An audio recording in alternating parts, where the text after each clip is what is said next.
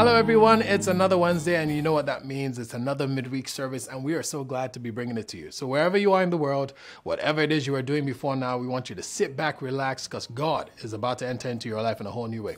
All right, but before we get into praise and worship, though, we want you to do something special for us. Now, nobody goes on the streets anymore knocking from door to door preaching the gospel, but we expect that you're able to do it in the new way, you know, with the culture, by sharing the link to this service to your friends, family. And I mean, you've shared a bunch of things before. Come on, let me guilt trip you here and ask you, when last did you share the word of God? All right, so share this link to a friend, uh, to family members, and the people you don't even like that much, all right? With that said, let's get into the presence of God with some praise and worship. And here to lead us, the Rock Cathedral Gospel Choir. Let's go. Hallelujah. Good evening, church. Good evening, everyone. Thank you for joining us once again. I believe God is here with us tonight, even as He's there with you wherever you are. And as you have tuned in, your life will never remain the same. Can we bow our heads as we pray?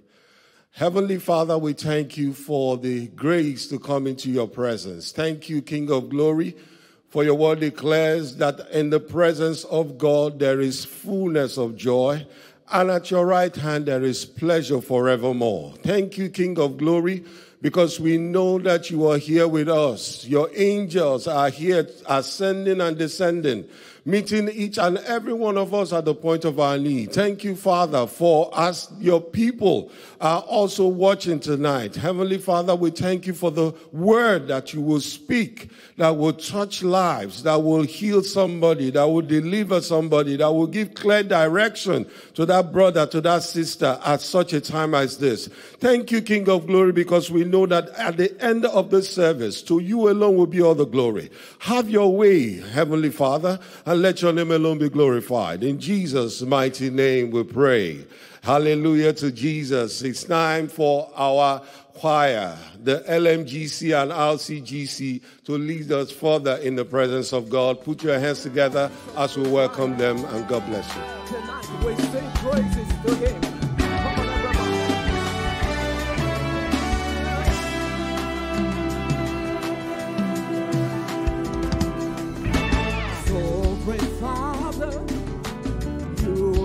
You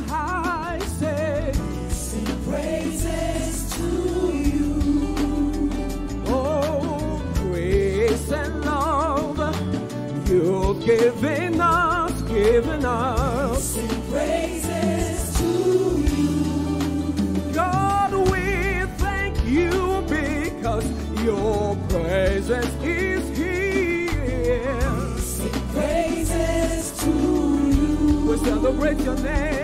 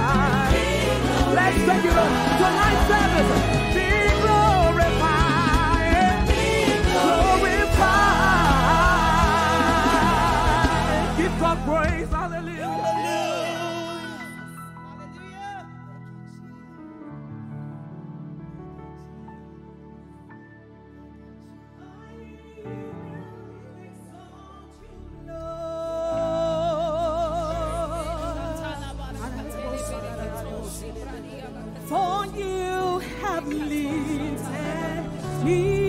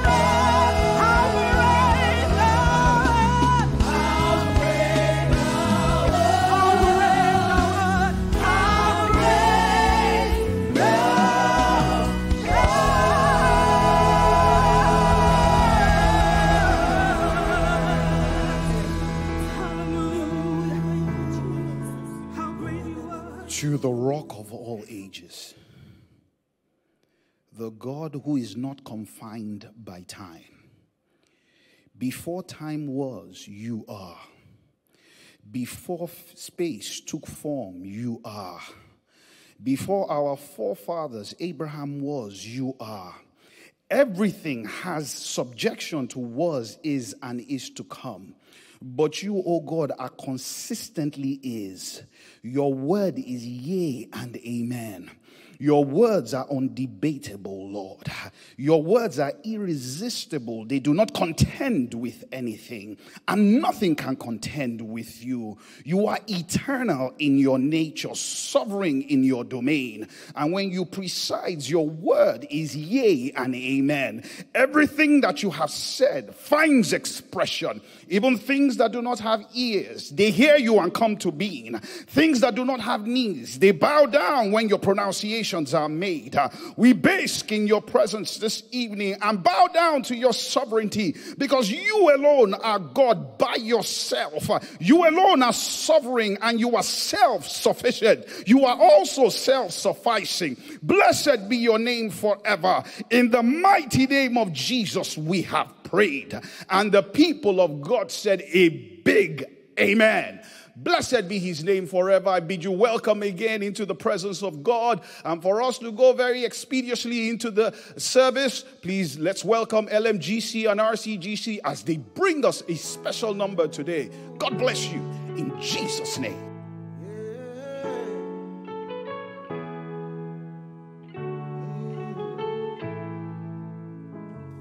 There's just some problems only God can There's just some moments that just don't make sense. Oh, I've seen it happen time and time again.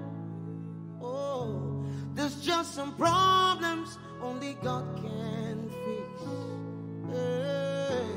There's just some battles flesh and blood can't win. But there'll be some moments that just don't make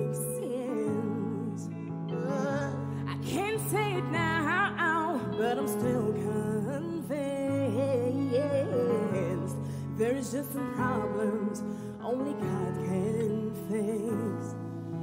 Not by power, not by might. By the Spirit of the living God. The Spirit of the living, Oh, yo, Spirit of the oh, living God. Not my battle.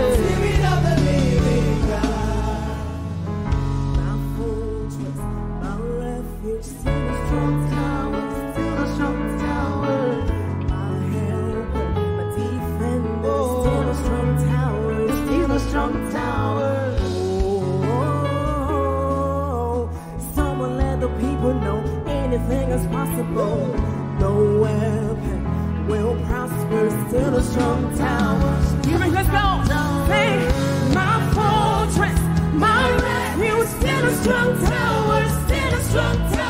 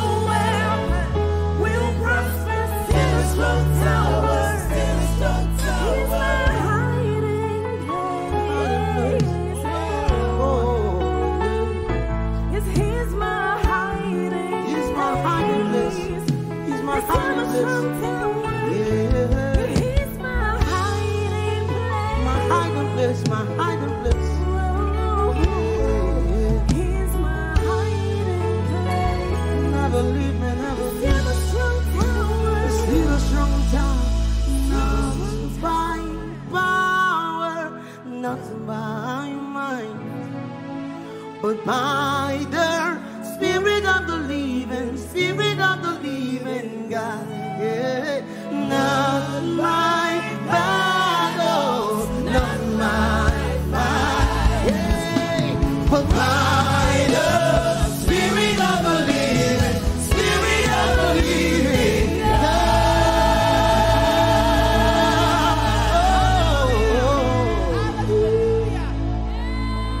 what an inspiring ministration that was. I love RCGC. They always do a good job. Thank you so much.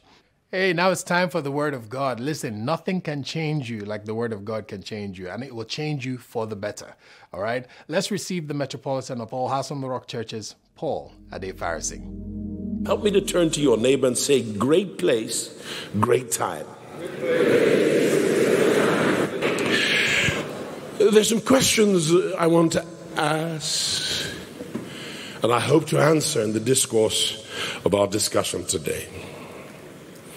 Are you the one looking for your set time? Or is it your set time that is looking for you? In addition, are you made for your set time? Or is your set time made for you? I'll say this up front to you we do not go looking for opportunities, opportunities come looking for us. Doesn't mean that you shouldn't give out your CV, your curriculum vitae, or your resume, as they say in other climes. But what it does mean is that opportunities are going to come your way. In the normal concourse of your daily life and routine, which can be altered by God where He requires some flexibility from you from time to time. And that's why we must always recognize that we are in a state of preparation for the next level. And so, because we are always in preparation, it means that when an opportunity comes, we are already ready for the opportunity. So, right now, with where you are and what you're going through, you are being prepared. Prepared is an interesting word in the English language. It means pre, before. And pair means cut. So you are being prepared, pre cut to fit somewhere that nobody else can fit. And so when you are in preparation, you are in what we call pre cutting in action. So wherever you are in life, you are exactly where God needs you to be. If you are a believing Christian and understands that your times and seasons are in His hands, it's like my son, when I'm with him where he lives, he'll race out and say, Dad, I can't talk to you this morning. I've got to go catch the bus. Because that bus only shows up once every hour at a certain time, and it cannot leave the bus stop before that time.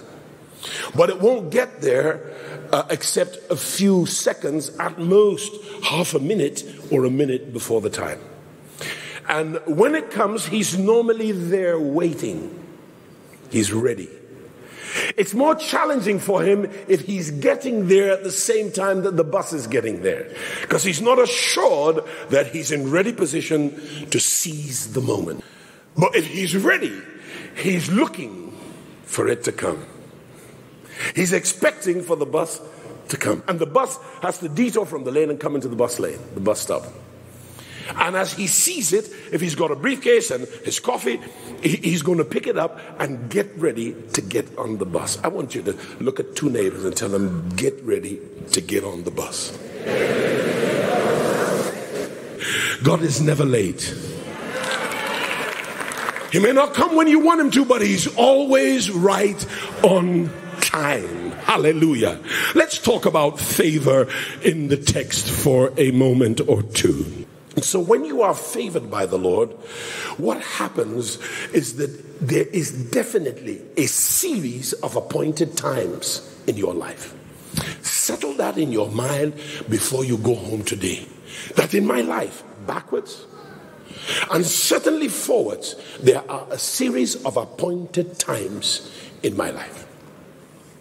That's the word time in Ecclesiastes 9:11. It's the Hebrew word et and it means time as a window of opportunity, time that regards or concerns a window of opportunity that opens and it closes. And it has recognition for exactly your own identity. Nobody else can walk through your door but you. Just like Lazarus could not come out of the tomb except he was Lazarus. Nobody else could come out of his tomb except him. Hallelujah. And so that's the first word. If you put that on the screen, that's the word et. The second word is chance. You understand one chance. My mother used to tell us, and that word eh, chance is the word paga in the Hebrew.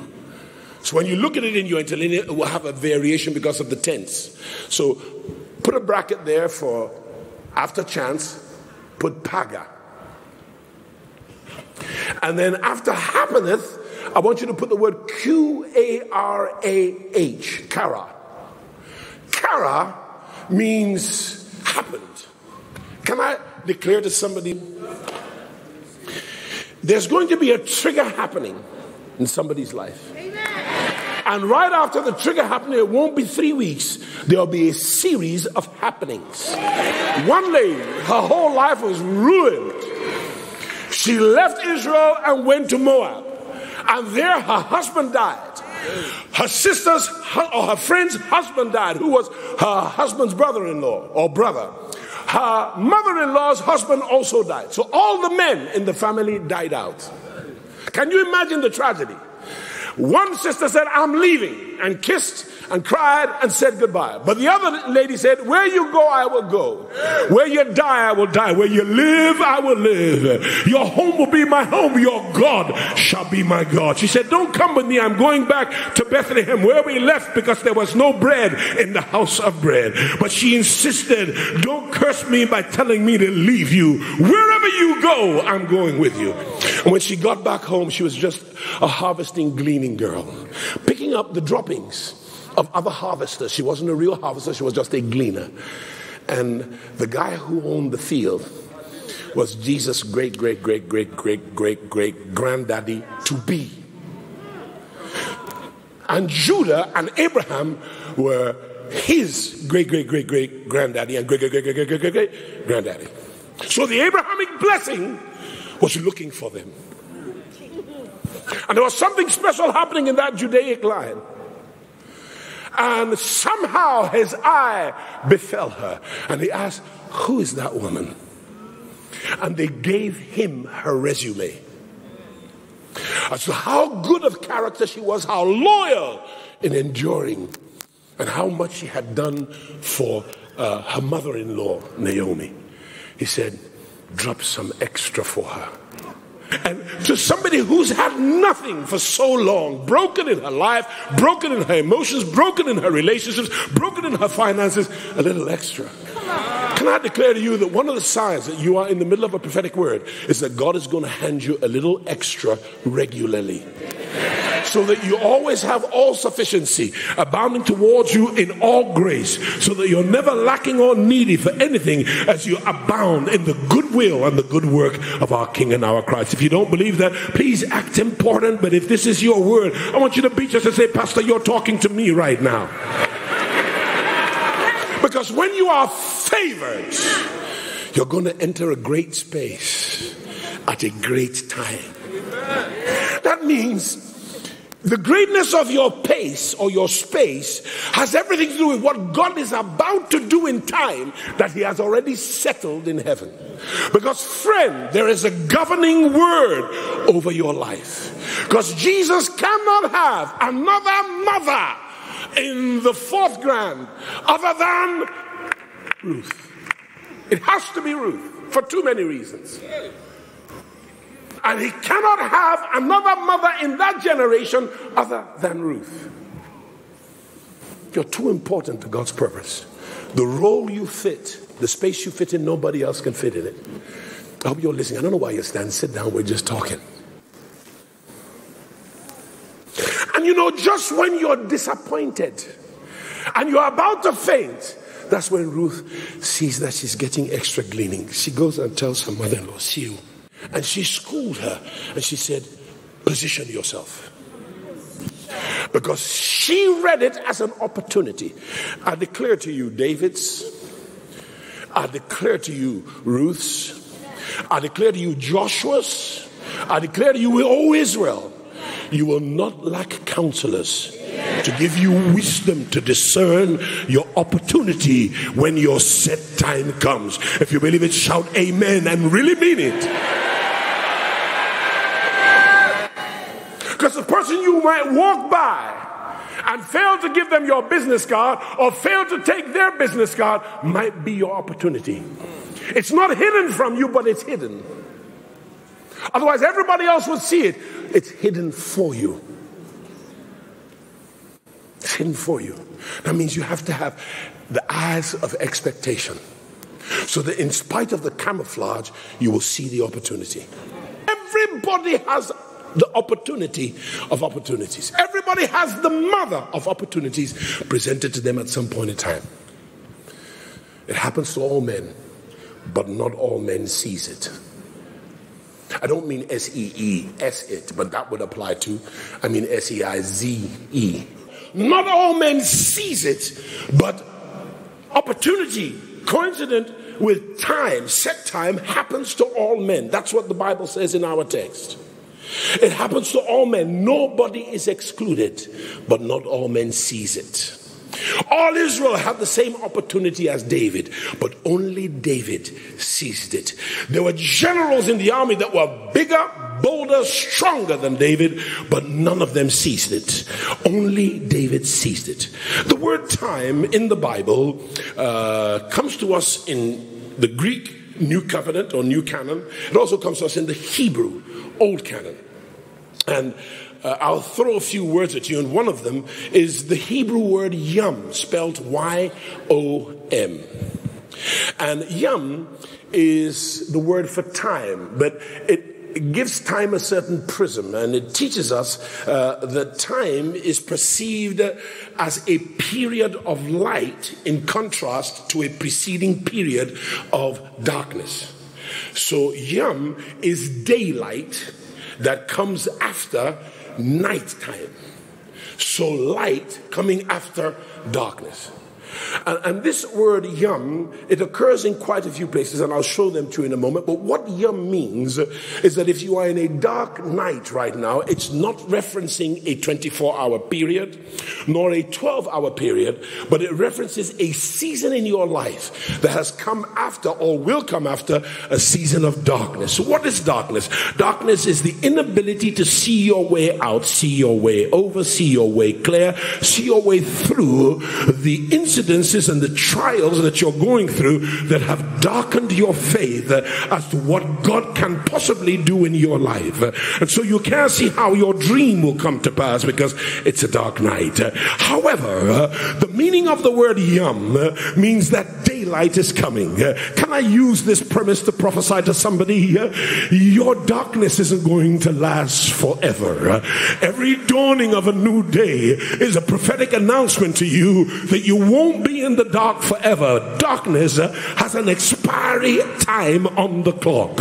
When darkness must go away and light must come. Oh, I don't know who I'm preaching to now. You're going through a dark time, incidented or accidented by a tragedy that happened during COVID, or by a traumatic incident that happened in your family, or by a disease that the doctor reported back to you after you did your blood work with him, or failure in your family, or romantic relationship gone sour and all your dreams were hinged on that girl or that guy. And now it's all fallen down and you can't see your way out. Uh, you don't have the meal ticket to get to where you're going and the bus don't look like it's coming. There's too much traffic. So how am i going to get there? It doesn't matter what i can't see with the eye. It matters what i know in my faith. There must be a governing word from god over my life that has predetermined me from before i I got here. And once I know that word, I can settle it in my heart. For thy word, O God, is forever settled in heaven. And if it's settled there and it's the first realm of my citizenship, sooner or later, as long as my feet are touching this ground, the word in heaven is going to become my reality here on earth. If you don't believe that, act cool and say, Pastor, you're getting out of mine now. But if this is your word, I want you to tell your neighbor the governing word over my life is getting ready to happen anytime from now. I can sense in the ticking of my clock that I'm getting closer and closer to my kairos moment, my set time time, my appointed time, uh, my due season. Uh, I almost fainted with what I went through in the last few tragedies that were so traumatic. They burnt down my house, they burnt down my business, they burnt down my feelings, they burnt me down. But I'm still here. I got my mind made up, I have my body ready. My wife is encouraging me, and I feel something every time I hear my preacher preach. Something is getting ready to happen. Watch this space. Watch this space. Watch the space. And so, yom is the announcement uh, that daylight is coming. Uh, weeping may endure for a night. But there's daylight coming. Shout to somebody and tell them daylight is coming. But joy cometh in the morning. And I don't have to wait for the joy to come to get my praise on. Joy can meet me on the road, but I'm going to start praising him before daylight comes. Because certain as tomorrow night, daylight will break somewhere around 6.30 a.m. in Lagos. I'm going to see a new day. I'm going to see a new dawn. I'm going to have a new shout. I'm going to own a new dance. I'm going to have a new happiness because something called Kara is about to happen in my life. If you believe it, shout, yeah. No, you didn't shout it like I wanted you to. I want you to shout it with melody. Yeah.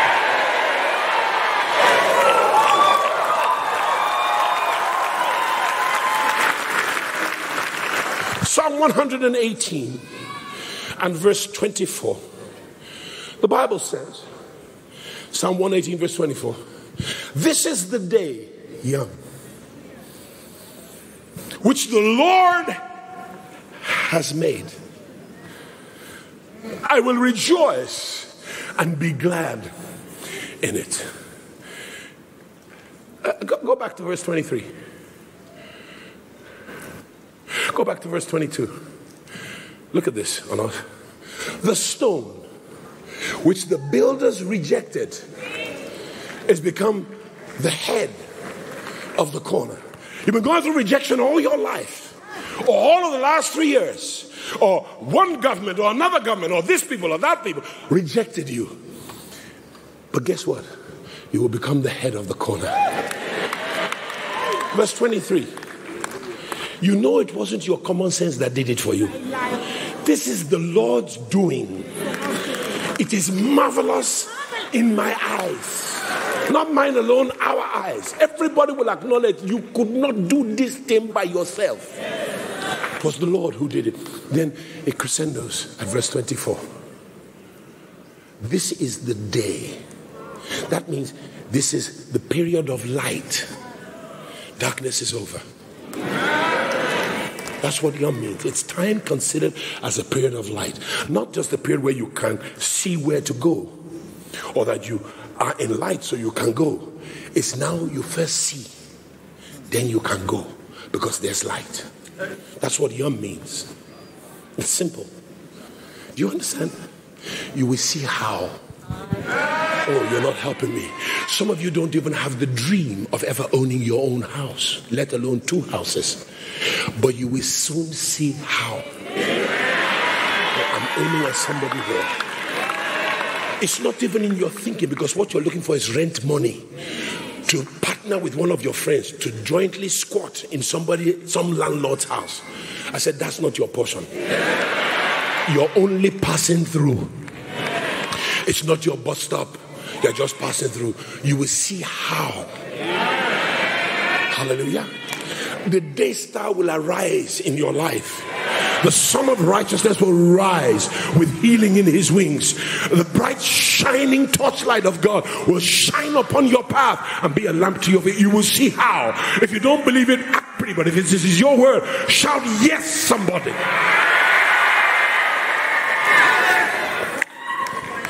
Uh, the, the, the other word in the Hebrew for time is the one we've talked about already. It's called et.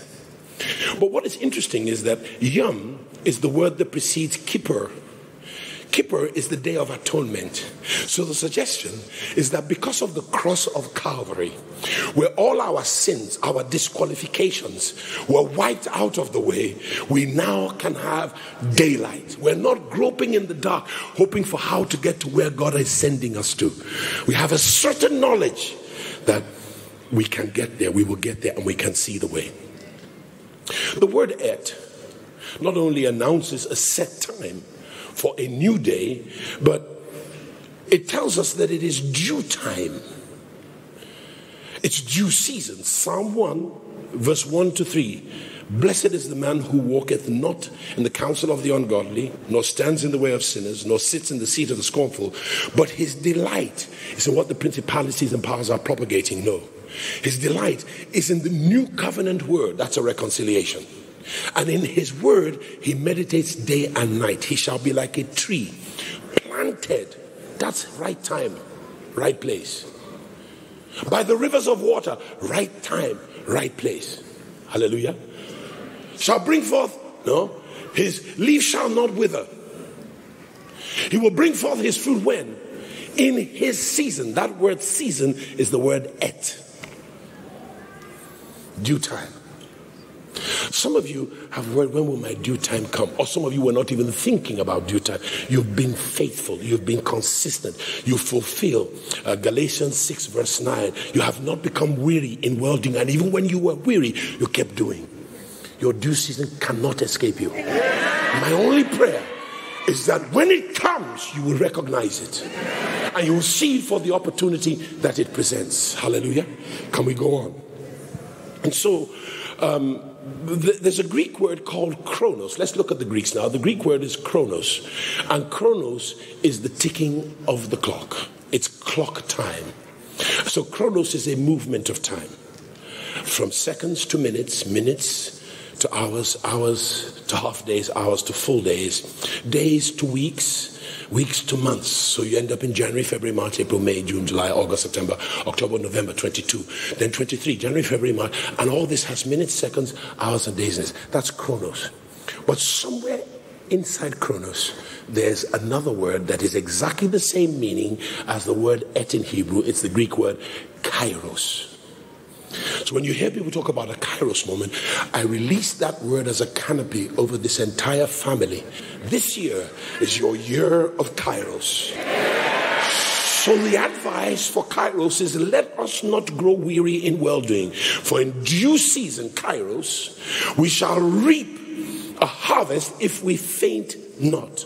I want you to pick that up with me in the um, King James, no, the Passion Translation of that verse. And don't allow yourself to be weary or disheartened in planting good seeds for the season of reaping the wonderful harvest. He didn't say a wonderful, he said the wonderful. That's the mother of harvest. In other words, something is going to totally change your life. Your level will change that even you will not be able to try to go back to who you were before. Oh, you're not hearing me.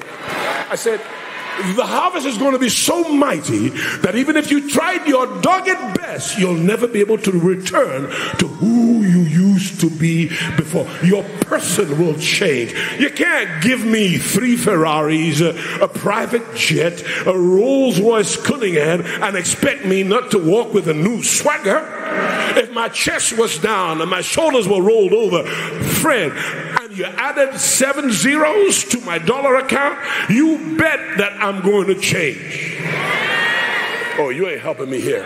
If they put you beside on the bed with a wedding ring on his finger and on yours, tall, dark, handsome, got it going on in 54 countries, uh, business mogul to the lint, uh, uh, absolutely drop dead gorgeous, handsome guy, exactly what you could never dream of, and you put him beside you in his great mansion on the Spanish Riviera, and you are now man and wife. You ain't getting up out of the bed the way you used to before. When you call your friend Tosin, you're not going to say, hello, Tosin, how are you? Hey, Tosin, how you doing? So, what are you up to today, Tosin? Because you want Tosin to ask you what you are up to so you can tell her what your view looks like out of your huge picture window looking out onto the Mediterranean Sea at four yachts, your speedboat, your, your ski. Oh, you ain't helping me now. Something is about to change your life. Something is about to happen in your life that will change who you are. You don't need a preacher to excite you. Your faith should have you in a level of excitement. Your excitement is your energy to lay hold of your opportunity when it comes, even though you may feel weary in your body. God has another level of energy to help you seize what belongs to you before somebody else tries to take it. So, a great place is not the physicality of the space, it's the fact that God is with you. And a great time is not a calendar date, it may include a calendar date. However, it is that because of Christ's cross on Calvary, the Lord is with you, the Lord is in you, the Lord is above you, the Lord is for you, the Lord is your under guard. the Lord is your rear guard. He's got you covered. The cross is when that transfer was traded. He is the creator in and all around you. You are in a great time as well as you are also in a great space. So, my case study is David. In Genesis 49, verse 10, verse 11 and 12, and I read The scepter shall not depart from Judah, nor the lawgiver from between Judah's feet, until Shiloh come and unto him shall the gathering of the people be. This is a prophecy from Jacob to his son Judah, the progenitor of the Judean tribe out of which Christ would come. Binding his foal onto the vine and his ass's coat onto the choice vine, he washed his garments in wine and his clothes in the blood of grapes. That's the triumphal entry that led him to the cross. Verse 12, his eyes shall be red with wine and his teeth white with milk. Verse 10 tells us that the crown, the scepter, will be Judah's. But notice that instead of the scepter going to Judah or to Judah, instead of the crown going to Judah, it went to Benjamin. Because Judah was not ready. Why was Judah not ready? Judah committed ancestral bastardry with his son's wife. First son and second son married the same woman, can't go into the detail of it, and they had no children. She sets Judah up, and Judah has a child through her and that child was a bastard. The law of Israel in Deuteronomy says that a bastard cannot associate in the congregation of Israel for 10 generations. How much more become a king? So, for 10 generations, Judah was disqualified from presenting a king. Do you get it? But Benjamin, of whom a prophecy also attended, that the king would come out of Benjamin. And so, Saul, when Israel wanted a king they could see, they did not want the king Elijah had the one you cannot see with the eye, the one that the king they could see.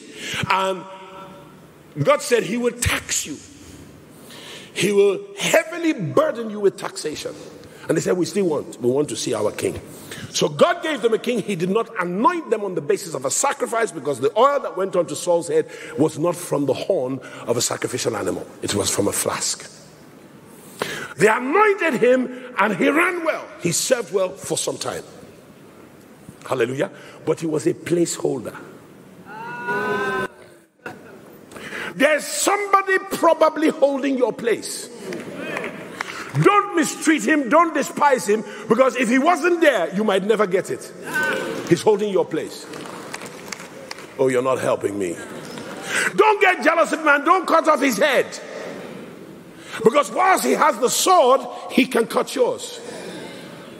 Stay alive. Don't go after Saul.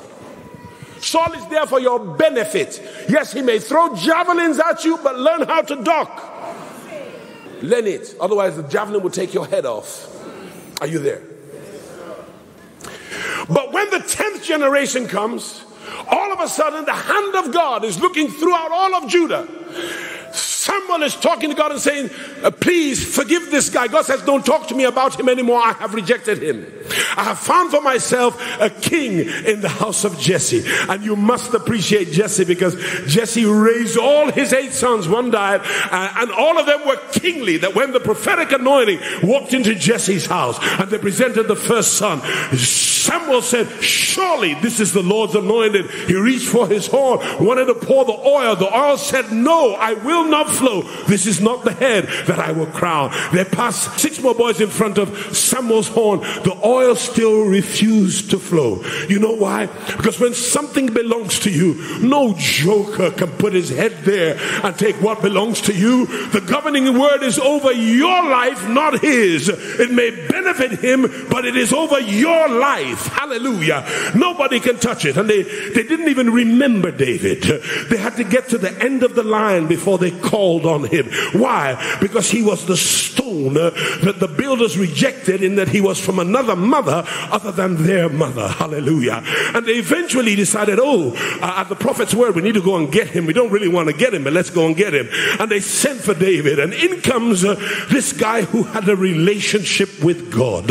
He was authentic. He was but a kid, uh, but he was killing lions and bears or about to. And he walks in with a swagger because you know, when God is with you, there's a certain cockiness about you, there's a certain confidence, there's a certain pep in your step, there's a certain gait in your wake, there's a certain glint in your eye that makes you look like a man from another world. And when you talk, uh, things move, things happen because God has so identified with you long before you knew it, long before your daddy knew it, long before your progenitor knew it, long before Adam even knew it. He had his hand uh, on you before you were born. Uh, You were his before you got here. That's why your parents, had they finished having children, they still had to have another one because you were the chosen one. Am I talking to somebody? And he walks in because the prophet has said, We will not sit down uh, until the king comes because in their culture, you don't sit down at the king's table until the king comes and sits first. And he releases a prophetic word over his life that, boy, you are the next king over Israel. Notice that the anointing for king is not the same as the anointing for next king. That means uh, you are going into preparation. Uh, He sat down, he ate the king's portion of the sacrifice animal, and they poured oil on his head. Hallelujah. From the horn of the sacrifice. Glory to God. Uh, A picture of what Jesus did for us on the cross. Why we have the anointing as he has it. Can I preach some more? I'm going somewhere. And he has the anointing of the next king on his life. And there's somebody here. In fact, I see many of you. The anointing of the next level uh, and the next level makers uh, is on somebody's head. It's on whole rows. It's in whole groupings. It's in your family. And God uh, honored Jesse because he had raised eight kingly boys. Only one would be the king, but you have to give Jesse the credit that he raised kings. My job is to raise you up to be your royal highness, your royal majesty. My job is to make you a crown princess, a crown king. My job is to let you know that you're part of the royal governing family and prayer, praise, prayerly family of the King Most High. That means you are not an ordinary man and your kingdom is not of this world. That means they cannot necessarily identify you for what you are by merely looking at you. They must have some understanding. But what they will see is that your works before men, they glorify God. And David came out of that anointing. It blessed him because this is a boy who longed for affirmation and acknowledgement from his siblings. His first circle. Yet they never accepted it. He was king to be, it was imminent, but they never accepted it. He goes back to the same janitor's job with a kingly anointing on his head. Test number one. Can you run with a king's anointing in a hopeless job and keep doing good? Keep doing well and not get weary. Can you do it? If you can, you're getting ready for your due season. Can you take a licking and keep on ticking? Can you hear bad news, keep the good attitude? Can you still shout and dance when there's nobody looking and still have a glory praise on when it's just you, God, and your sheep? You understand what I'm saying? But God doesn't leave you to private audiences. He only uses them for your personal sense of confidence in who God has made you to be. You hear what I'm saying? Here's David. The anointing is now ready for him to be king. His brothers have gone to the battlefield. None of them respect the anointing that happened in the house. None of them. His dad sends for him. He says, Go to the battlefield and check on your brothers and serve them these cheese and bread sandwiches. He's not going as a warrior. He is a warrior, but he's not going as a warrior. And when he gets to the battle, Israel is at the top of one ridge, Philistia is at the top of another ridge, and there's a valley in the middle. That if any of them comes down into the valley, they'll get smoked by the opponent. So, what Philistia has done is they've brought the challenge first. Israel should have done that first. And they sent their biggest warrior, and he is an infantry soldier. In the armies of those days, you had cavalry, you had infantry, and you had um, artillery. This man is not artillery. This man is not cavalry, he's infantry. He's heavy infantry. He has a shield, he has a javelin, he has a sword, he has armor. Saul is an infantry soldier, but he knows how to ride in a chariot, so he's also cavalry. David is not infantry, David is not cavalry, David is artillery. That means he's a bow and arrow man and he's a catapult guy, a slingshot guy. Goliath comes down and he says, Bring me an infantry soldier. In other words, bring somebody to me for hand to hand combat. Let's duke it together. And if you beat me, you have us. We'll be your slaves. You plunder us. If we beat you, Zion belongs to us. That's what we're aiming for. You have the best land in the world, and we want it. Hallelujah. David arrives at the battle. He sees something less rational, or rather more rational, than a lion and a bear. Everybody there in Israel for 39 and a half days sees it as crisis. My wife, my children, we're all going to become their slaves. They're going to neuter my sons, emasculate my boys, and take my women. Take my mother, my, my wife, and my daughters, and everybody else's daughters. And not one of them is willing to die or to risk it. But a 16 year old boy shows up, and where they see crisis, he sees opportunity.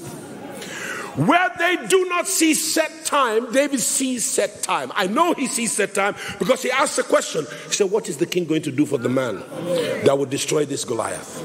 And they tell him, You will get tax freedom for you and your family, the boys who don't like you. You will have lands. You will be in the king's court. He will give you one of his daughters to marry, and you're going to get a lot of money. David said, Me, I can do this. I can do this. I know who's with me. I know who's around me. I know who's got my back. I know who saved me from the lion. I know who will cross mountains and bulldoze them just to get me across the plains. Are you hear somebody? He said, I can do this. And his brother talked him down. If they can talk you down, you don't have a word from God. If they can talk you down, then you didn't really see this as your set time. They didn't see the opportunity. David saw the opportunity clearly. He didn't even see all its benefits. He only saw some, those which were stated in Saul's contract. What the what he would get from the contract with the people, he hadn't seen. Yet it was all in the contract of God. Hallelujah. So they sent him to Saul, and Saul said, "You can't beat this guy. He's been an infantry warrior from his youth, and you are but a youth." He said, "Okay, take." You, you, you got talk. Take my armor because he thought it was an armor battle. It had nothing to do with armor. It wasn't hand to hand combat. In our battle, we are artillery. You can't see where we're coming from. You can't see our bullets or our missiles or our ballistics. We hit you hard because we float like butterflies, we sting like bees. Your hands can't hit what your eyes don't see. You hear what I'm saying? So, so you slap me in the face. I'm going to another level. I will not let you drag me down to the gutter where you fight because I am not only flesh and blood, I am spirit first. Hallelujah. Do you get it? A snake and an eagle, when they fight, the eagle will never fight the snake on the ground because the snake has the ground to maneuver. That's its territory. The first thing it does, it goes for the jugular and it lifts it into the sky where the snake has no maneuverability. It chokes it there and then it takes it to the nest for dinner. You understand? We are above only. So from a distance, uh, Goliath says, Come, come here. Come here, and I'll take your head from your shoulders, and I'll give you to the birds of the air. David said it's gone other way around. David did not come into hand to hand combat with him. Never fight the devil on his turf or on his terms. Don't do it. The guy who's harassing you at the job, don't do it. Deal with him at home. Come and talk to me about it. Or close the door behind you and your wife. And God, who hears in secret when you pray in secret, He will deal with him for you openly. Hallelujah. Fight your battle on your ground. On your ground. I hope somebody is listening. Can I go further? This is David's opportunity. Time has occasion for his father to authorize him to go to the battle as a servant, not a warrior. Time has opportuned him to go to the king's war tent, and the king has also authorized him. He has his parents' blessing, he has his uh, king's blessing. He has gone to the battle. He said, King, I haven't proved this your weapon. I know my own weapons. And he sees Goliath, and as an artillery officer or child, he launches his missile, a little pebble. It takes Goliath down, and Goliath falls in the trenches. The Israelites, Joab, Abner, all the warriors, the adjutant general, the commander, all the leaders, they're in shock. David doesn't run away, he runs to Goliath. He doesn't even have a sword. You're really anointed when you can use your enemy's weapon to kill your enemy. He draws his sword out from his sheath and shoo, takes his head off. Instantly, Israel wins the war at the hand of a little boy. The race is not to the swift. The battle is not to the strong. Neither is bread to men of understanding, nor riches to men who are learned, nor favor to men of skill, but time and chance happen to them all. It was the opportunity of every man in Israel, every warrior in the trenches, but none of them saw it, none of them seized it. Only a boy who was new to the battle saw it because he was ready. Keep doing good because your, your continuality at being good and doing good is what gets you ready for your battle. Hear me, child of God.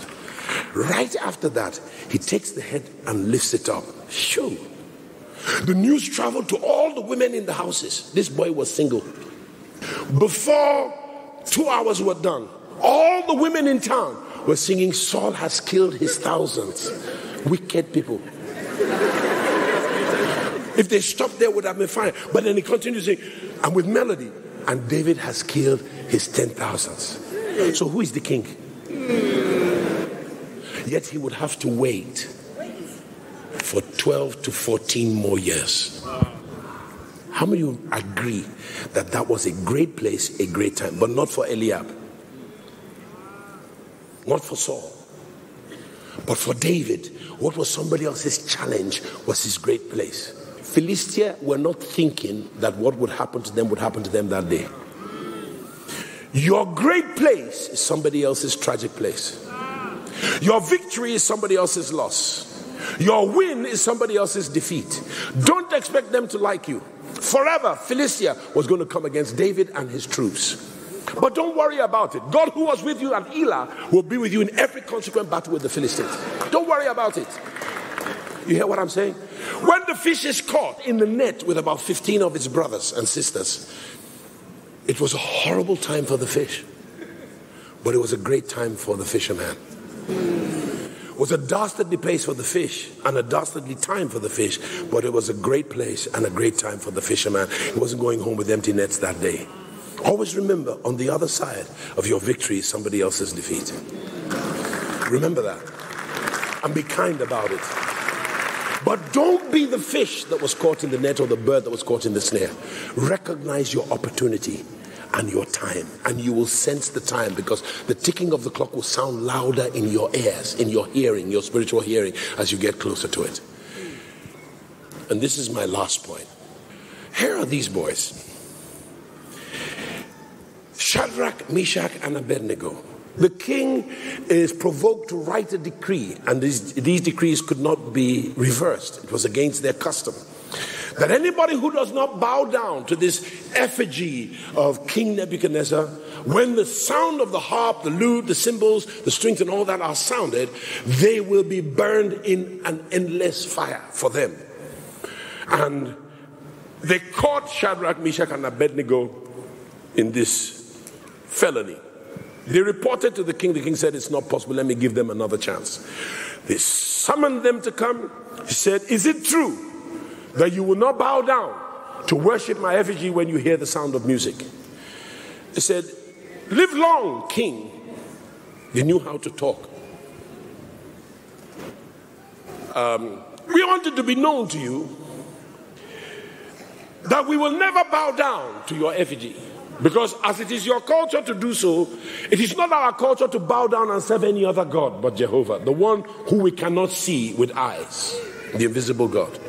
And we want you to know, most respectfully, O King, that our God, they didn't give him the resume of the Red Sea, but he should have known it. He is well able to deliver us from the fire.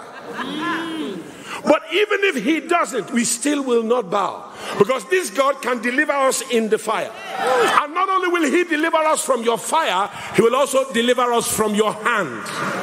It's written in your Bible. Because the person who created the fire that you overcame, he also still has his hand to give you more trouble. So there's a boss who has set a snare for you in your office, and that snare is meant to take you out. But you overcome the snare, he still is there with his hand. So God needs to help you to deal with his hand, or two of them, or take him out of the place so his hand has no reach to your life. Hallelujah. Can I prophesy to somebody? There's a wicked person somewhere in your life who has blocked your every path, who has turned you down, turned you off, who has sat on your file. They've closed the door and put a padlock on it, and they went to cement it in one shrine somewhere that this very capable person must not rise. Not in my office, this is my space. Hallelujah. Do you understand what I'm saying? But the devil is a liar. God will deliver you from the snare of your supervisor, and he will deliver you from the hand and the machinations of the same supervisor because God is one who holds the heart of the king in his hands and he turns it whithersoever he pleases as the rivers of water. And so somebody shout, Great place, great time. Pastor, how can you say this is a great place and great time when the fire, we're not even in it yet, but it's scorching the hairs on our hands? Uh, the fire is so hot that the people who lit it, they're backing up because of the heat that we can feel. Uh, but still shout at them and tell them, great place, great time. Hallelujah to God. What I'm trying to tell you is that the king threw them into the fire, but it was still a great place and a great time. Uh, When he threw them in, he knew that they would be singed in a moment, uh, but minutes after he looks in and he's amazed and he says, Did we not throw in three? But how come we see four? And the fourth is like the Son of God. What is happening? And they are loosed. The ropes we bound them with and their clothes are not burnt, but the ropes that we own have been singed completely. These guys are walking around in a fire like as if they were outside of the fire. You see, life is strange. I need seven men. Life is strange. I need seven men to line up in this direction. I'll do the gingerbread bread another time. Uh, seven men. I need you to line up, all facing that direction, behind each other. Seven men. Seven men. Seven men. Musa is number one. Go forward, Musa, uh, and leave two steps. Go forward more, Musa. Go forward more, and then take two steps, Felix. You're good. Now, the rest of you take backward steps. Toba is the last. Oh, day. That's what they call you when you're last. Fool. Musa is the first. They threw them in the fire because, as far as the Babylonians were concerned, they were the last. What they didn't know is that the king would summon to bring the three boys out. Then he would declare that no other God, including my effigy, is to be worshipped in this Babylon except the God of Shadrach, Meshach, and Abednego. And by the way, you wicked satraps, 120 of them, you are going into the fire. Hallelujah. Number two, Shadrach, Meshach, and Abednego promote them to premier status in my land. They will govern all the provinces of all of Babylon. Hallelujah. Amen. Because of fire. Somebody shout, great place, great, great time. Where you are now in your life, you are in a great place. Mm. Yeah, but Pastor, that's not how my life. Your life is in a great place at a great time. Because when God wants to bless you, you don't have to be in Musa's position. Musa is first right now. But what does your Bible say? It says, the first shall be last, and the last shall be first. Does that mean Toba come? Does that mean that God is going to take Toba by the hand and bring him and put him in front of Musa? Is that how God would do it? That's not how God works. Musa had his time, and during his time, it was exactly as it is. But when God wants to change the times, and the seasons because your chronos has become kairos. God does not move one man from the back to the front. What he does, everybody by the front about turn. And instantly, he that was last is first. He that was second to last is second. He that was third to last is third. And the one that was first has now become last. Somebody shout, It's my time. It's my time. I don't need to worry about how God is going to do it, but it's my time. I don't need to worry about what my enemies think about how far back I am and it will never happen, but it's my time. I want you to look at five people right now and tell them, It's my time now. And there's nothing that the devil can do about it. It's my turn and it's my time. And the quantity that matters is not skill, it's not understanding, it's not strength, it's not power. It is favor with God. Hallelujah. Wow, wow. What a message in season. Powerful message from our pastor Paul Adefarasin. I know that message is for you tonight. And I know God really spoke to you, and your life is moving to a next dimension. And if you know that God spoke to you, I need you to celebrate Jesus. Do something for God wherever you are, for the life of our pastor and his son, Paul Adefarasin. Thank God. Hallelujah. So if you need this message and you want the full message, I need you to go to www.hotrmp3.com. You will get the full message and all other messages on that platform. And I believe God will bless you as you do that. This evening is also time for us to give unto the Lord. Bible says, give and it shall be given to you, pressed down, shaking together and rolling over shall men give unto your bosom. This ground is a good ground. As you sow into this ground, your life will not remain the same. I know that you're with your gadgets right now, and the details and the information for your giving is showing on the screen right now. And please give as you are led, and your life will not remain the same. Let's pray. Heavenly Father, we thank you for you are the God who gives seed to the sower and bread to the eater.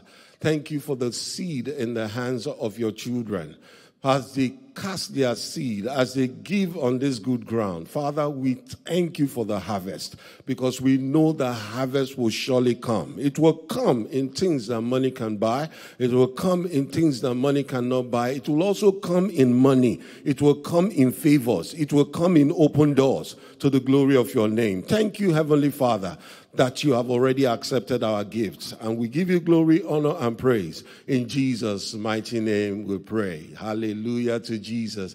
And now I also want to invite you for our super celebration service on Sunday, 9 a.m. on this same platform. Please invite your friends, invite your family members as you tune in to our super celebration service on Sunday.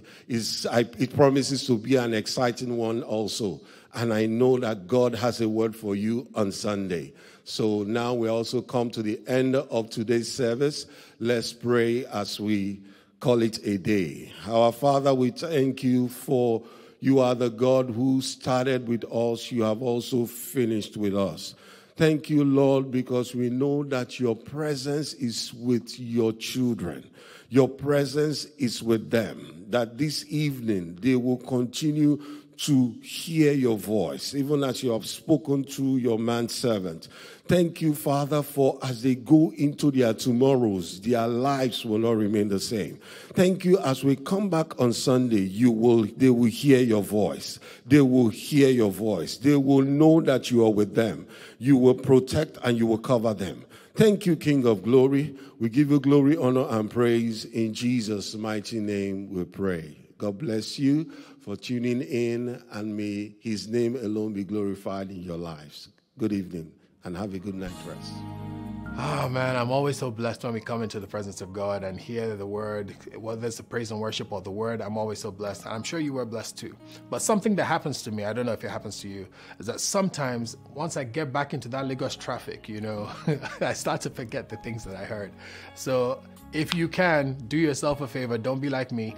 Download the message at www.hotrmp3.com. That way, you get to keep that presence, keep that word going on and on in your life, uh, and traffic won't take it from you, work colleagues won't take it from you, hard times will take it from you, because faith comes by hearing, and hearing by the word of God. All right, make sure you join us again on Sunday for our Super Celebration service. It's going to be at the service in church live, but it's also going to be on YouTube, Facebook, and our website. We hope to see you then. Stay blessed.